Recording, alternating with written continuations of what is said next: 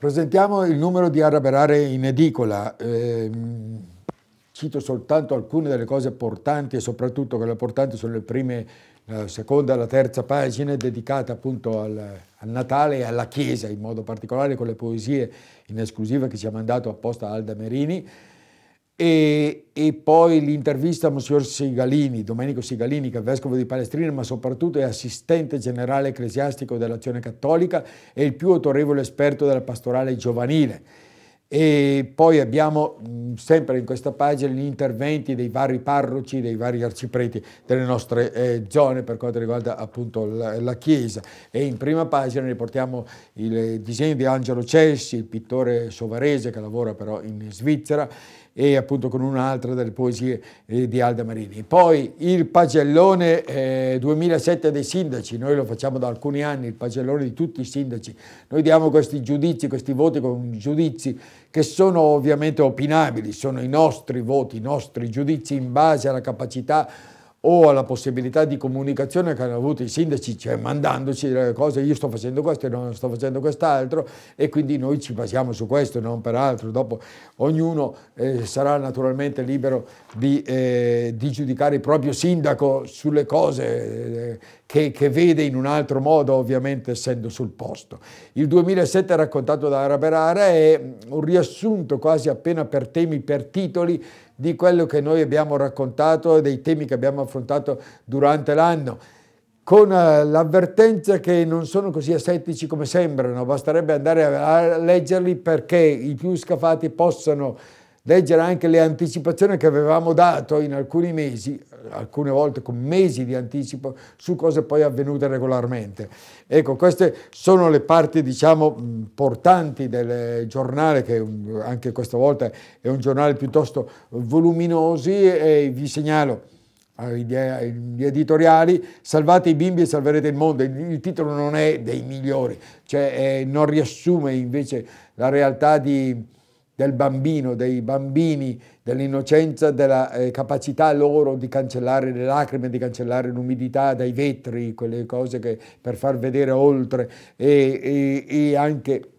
insomma eh, la nostra capacità di rifarci bambini. E c'è un bellissimo, bellissimo apologo di Woody Allen che racconta Aristea Canini appunto alla fine pensate come sarebbe bello se noi cominciassimo dalla fine la nostra vita e ritornassimo dentro eh, finendo anche provocatoriamente dice in un orgasmo. E perché? Perché ricomincerebbero eh, sul letto d'ospedale o sul letto di morte e poi ritornando indietro, godendoci la pensione e poi cominciando a lavorare nel pieno vigore delle nostre forze, ritornando poi ragazzi andando a scuola a vedere con un'altra curiosità, con la consapevolezza di aver vissuto già qualcosa e di goderci quindi la cultura e poi ritornare, prima di tutto il gioco da bambini, ritornare innocenti completamente appunto fino a scomparire eh, dentro questa... Vabbè, è, è bellissimo, una, una, cosa di ritornare, la capacità di, di, vedere il mondo con gli occhi dei bambini. E poi eh, hanno un ridicolo bamboccio, eh, Peppi Fornoni come al solito, eh, capace di critica e di poesia nello stesso momento, al sumo mascherato dai potenti e Nagual. Benedetta gente, benedetta gente, vi faccio vedere due due posti di rimpettai, mi sono ispirato, lo capiranno i lettori perfettamente, in questo caso a Lovere, eh, dove ci sono due, due, due porte di rimpettai, una dalla parte l'ospedale che cura il corpo, cerca di curare il corpo, dall'altra parte un monastero che medica l'anima. E, e da una parte bisogna prendere bisogna prendere dei, degli appuntamenti e dall'altra parte si va lì e il primario ti ascolta non risponde sempre, forse non sentiamo bene le risposte o non abbiamo la capacità. Dall'altra parte si aspetta il Natale come in tutte le nostre case dalla, e dall'altro lato della strada forse e non è mai neanche partito, non è mai neanche andato, non c'è nessuno da aspettare perché c'è sempre stato. Vabbè, cose di questo genere e anche parlo poi di altre, di mucillagini e cose così. La fabbrica dei presepi, la fabbrica dei presepi è la storia incredibile anche questa perché noi non ci accorgiamo di questi piccoli miracoli, anche economici, di uno che è partito facendo il presepio per la parrocchia, adesso ha una fabbrica di presepi e fa addirittura i presepi a Bologna, a Venezia, va in giro a fare i presepi nelle città, a Milano, eh, a fare presepi, presepi cioè, di commissione presepi, lui fa dei grandissimi presepi che poi eh, affitta o vende a queste eh, grandi associazioni, comuni, eccetera, per i presepi e si fabbricano lì eh, sul confine tra Endine e Sovere, pensate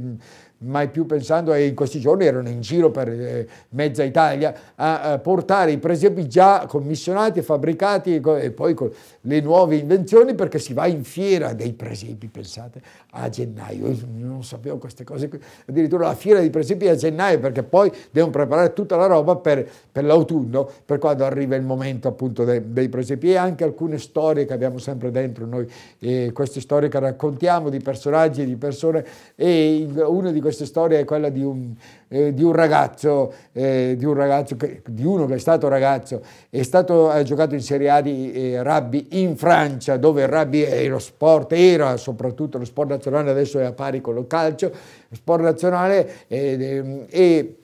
questo ragazzo aveva delle grandi possibilità, è migrato da Castione, è migrato là e ha fatto tutte le scuole, ha giocato là, giocava in una squadra fantasiosissima che è restata nei ricordi al punto che nel 1999 le hanno ridedicato questa storia di, a questa squadra di diciottenni, hanno dedicato un paginone su un giornale locale di Saint-Claude, hanno eh, dedicato questo paginone nel ricordo di un gioco spumeggiante come non, non, non, non l'hanno più visto. E questo ragazzo però dopo è tornato in Italia, ha fatto il militare qui, si è installato qui e non ha voluto giocare a rugby in Italia, perché ha detto, quando è andato a vedere, ha detto ma questo non è un gioco, non è mica questo qui il rugby.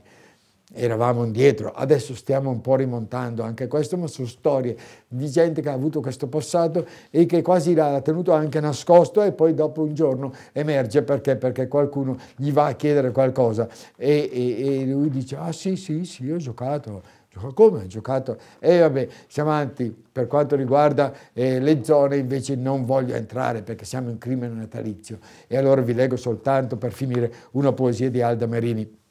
una delle tre poesie che pubblicamo di Alda Merini, non quella in prima pagina, quella all'interno, diciamo, è, è Amore furente. L'ora più solare per me, quella che più mi prende il corpo, quella che più mi prende la mente,